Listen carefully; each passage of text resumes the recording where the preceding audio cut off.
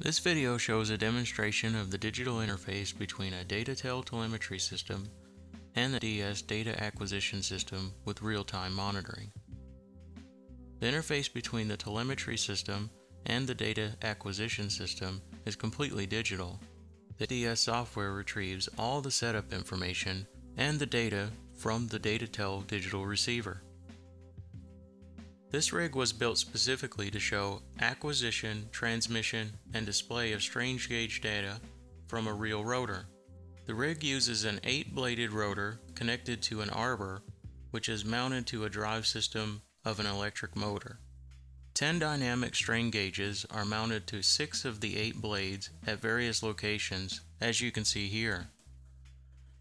As the rotor spins, the blades will rotate past a stationary magnet which provides a dynamic stimulus to the blades.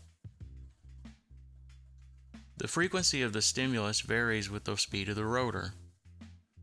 We will measure the dynamic strain on the instrumented blades as the rotor accelerates and decelerates. An optical speed sensor not visible will measure the speed of the rotor.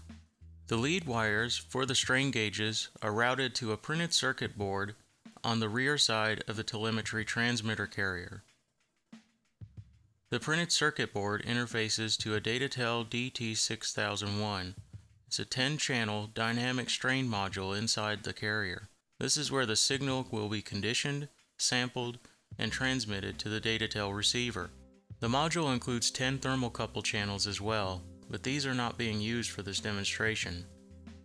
Other modules are available to condition and transmit data, from a variety of other sensor types. The transmitted signal is a digital RF signal. The signal is then broadcast from a receiver over Ethernet to a computer running the DS software where it is processed and broadcast for display and recording. The telemetry system is inductively powered. Setup for the telemetry is performed using the Datatel Web GUI. This interface provides configuration control, power control, and system administration functions to include management of IP addresses and signal conditioning inside the transmitter module.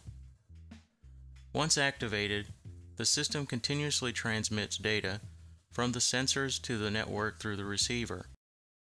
We will now launch the DS software application.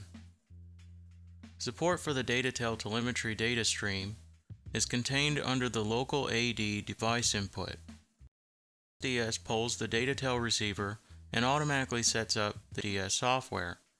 Sensor names, calibration values, and other setup specific information automatically populates the DS setup panels. Because the speed signal is not being transmitted through the telemetry system, DS provides a mechanism to use a synchronized A to D for speed decoding.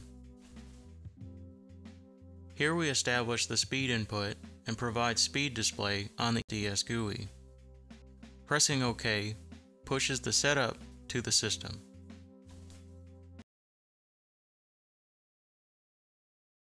The rig has a digital voltage control which supplies power to the electric motor. Pressing the up button will begin a sweep up in voltage to the motor causing the rotor to accelerate. The rotor does not immediately begin to spin because the motor must first overcome the static magnet attraction between the rotor and the magnet. As the rotor begins to spin, you can see that the data from the transmitter is being displayed on the DS graphical user interface.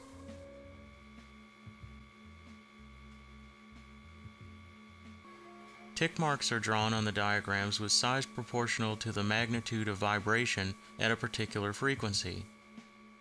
DS performs all frequency domain computations in real time and makes these data available for display and recording in real time. The rotor will accelerate past the magnet over a range of speed from 0 to about 4300 RPMs.